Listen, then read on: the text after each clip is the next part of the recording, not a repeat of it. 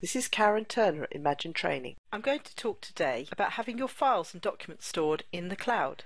Microsoft OneDrive, formerly known as SkyDrive, is a simple way to save and keep your documents free of charge. This means that you can access them when you're away from your PC if you have an internet connection. Microsoft OneDrive is now available on many different devices, so you can have it on your tablet and smartphone too.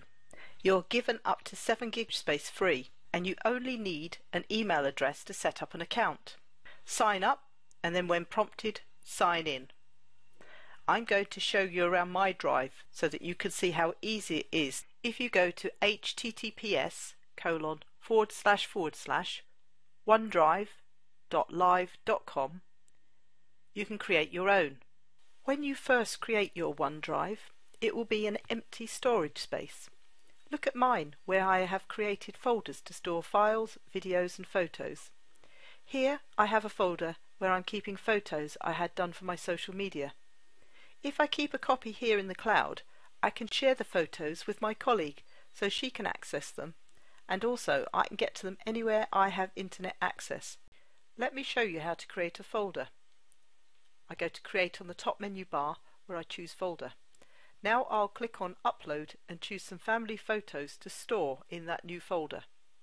I can select multiple photos and drag them into the empty folder. It only takes a few moments and they've arrived in the cloud. Now that's my backup.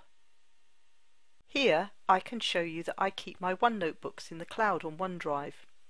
This is a synchronized copy of those that I have on other devices here is an electronic note that I made of a meeting that I shared with colleagues and if I make changes here we will see the updates on any device we open OneNote on as it keeps the changes. Clicking on Create gives me access to my web apps.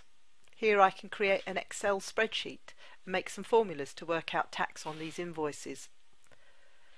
If I continued adding invoices to create a list I could perhaps then format the list as a table, giving me the ability to filter the list of invoices, perhaps by which one is paid.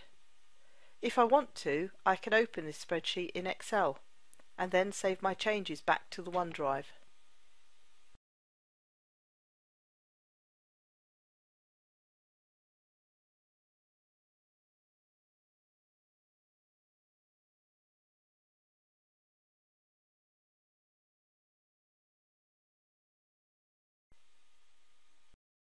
Thanks for joining me and having a look at OneDrive. Hope you found it useful.